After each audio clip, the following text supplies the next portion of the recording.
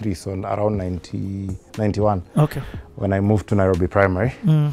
Um, and I think Nairobi Primary probably now set a foundation for the rest of my life. Because I remember I was uh, put to sit next to a guy called David Kamau. Uh, for real? Yes. Hey, And- you guys have known each other then for long. Yes, and he ended up becoming my best friend for the rest. Like we literally went to the same schools, were housemates, were each other's best men and everything down the line with David. And I remember very clearly what the class teacher said when she was putting me next to him for this is a new guy. I'm going to put you next to the responsible guy so that he helps you transition. So David was a responsible guy in the class. Uh, and What? No, like I just want to slow you down. You guys have been Yes, friends from that day. Yes, from that day, literally from that time, because I think David took his job very That's 30 seriously. years. Yes, until today, we're good friends. He's in, he's in, he, he left the country. Eh? He's out of the country Yes. temporarily on an assignment, but yes, but uh, we we literally went through there. So, Yeah. um, you know, David was. Uh, the kind of person, you know, he was, I think, very clear on life and the principles he was going to follow. He was born again and everything Mm. from that that period in time. But then this time, are you born again? Uh, I think so because around that time is when I was also now attending church at Nairobi Pentecostal Church Valley Road, Mm. which was also another pivotal whatever. So we had this thing called Vacation Bible School. And of course, now during holidays, uh, we have nothing to do as kids, and Vacation Bible School was a very organized Yeah. place to go, and there's programs, And it's just free next- food, next and, there's and it was walking distance. Yeah. Uh, so surprisingly, I had kind of met David there, but we didn't really know each other until I was taken to Nairobi Primary Mm. because his family also went to, to the same church. And so, because of my involvement in Vacation Bible School, is when I became a Christian. Mm. Uh, and I clearly remember, you know, uh, praying and uh, making that decision to become a Christian, I think at the age of 10. Uh, so that was probably at the tail end of, uh, of Lavington into Nairobi Primary. I get it. So when I got there and we were put together with David, we already shared a lot of values Mm. and a bit of a background of we were going to the same church. And so yeah, so we instantly like hit it off and became very close friends. I remember in the same clubs. He was a boarder in uh, we had boarding, yeah. so he was a boarder and would go home like every weekend. I was where a day Nairobi bag. school. I can't seem to Nairobi see it in- Primary. It's Nairobi just, Primary. It's just walking distance from State from- House. Yeah, it's like opposite to the State House field. Oh, that's the one. I get it. House Girls. Where now all Yeah. these Igabantu studios and the creative hub yeah, just now. behind there. Okay, yeah. yes, I- I- I've seen it, I've seen right, it. right Yeah. next there. So yeah, it's, so it's no relation to Patch. There's there's no Nairobi school. no, that was the original patch.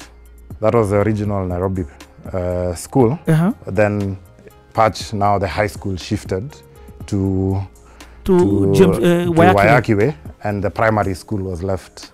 Oh, Yeah, yeah, so if you but- look but back Patch to the actually of where started Patch actually started, it started there in Nairobi Primary. you learned At least that, new that yeah, that's part of it. Uh, but that tells you where I went to high school. Ah. That I know that yes, yeah, that actually. history. Yeah, yeah, yeah. Uh, so yeah, so w- I, we went through uh, like the same clubs. Um, I have very fond memories of Nairobi Primary. Uh, so the funny thing today, I'm in WhatsApp groups of St. Michael's, Nairobi Primary, and Lavington as an alumni of all those schools. And are you uh, and this the one who conversation? started two of them. Yeah. and I almost started. Hey, you like relationships? Yes. Yeah, for real. That tells you how much. When I your g- uh, uh, group uh, yeah, group admin, group admin admin. zero zero one. yeah so um, so yeah so standard seven uh, standard eight i would perform well in school mm. in fact i remember when um, when now we were doing uh, kcpe uh, the final exam uh, i think i remember having a discussion with david for ah uh, you know the, the level at which we perform uh, shooting for Alliance, Mangu, and all those whatever would be, you know, cutting it close. So why don't we just select the schools we know we will definitely get the marks to go into? So we both selected Nairobi School, yeah, yeah, yeah. and actually we had three marks apart. I think he had 554 out of 700. I had 551, or the other way around. I Yeah. can't remember who performed better than the other. I think he performed better. I remember that.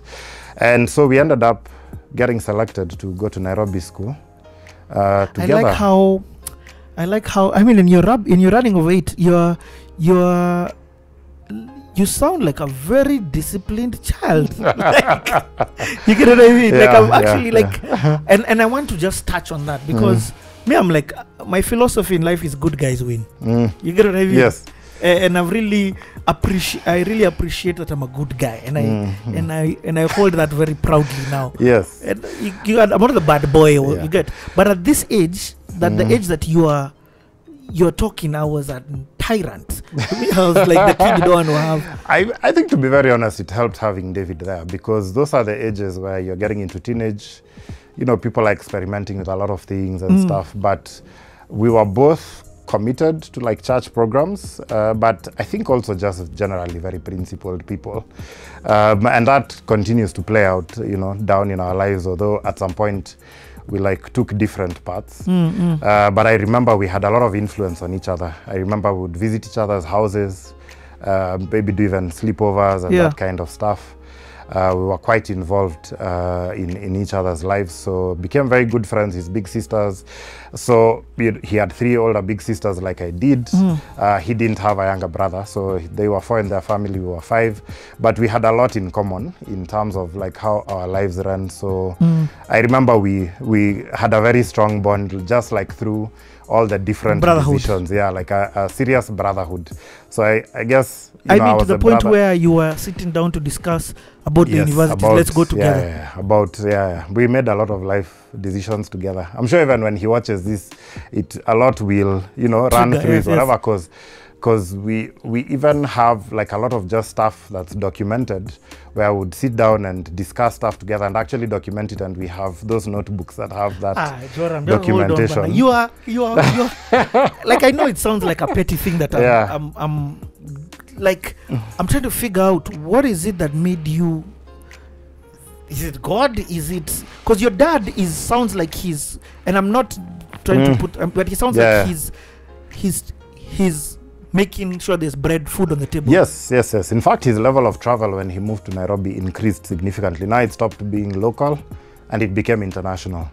So my dad was one of those guys when the president goes somewhere to strike those economic deals, he's they're out. the guys who are hacking stuff in the back end and presenting it to the president to do it. Ah, yeah, yeah. So uh, he was always traveling wherever the president would be he would be so um, a lot of the memories at that time is that he was actually out of the country Hmm. um, uh, uh, being in treasury in the ministry of planning He- he- you know he grew until he was like the deputy chief economist of you know gava Mm. uh, and the chief economist at the time was uh, a father of somebody we both know david kuria Oh, for real? who now I met in high school and we became friends. You, that's another guy who, like who a class been- ahead of me, but he was also in Nairobi Primary at some point. Yeah, David Kuria has Yeah. actually also been on this seat. So yes, Yeah. yeah.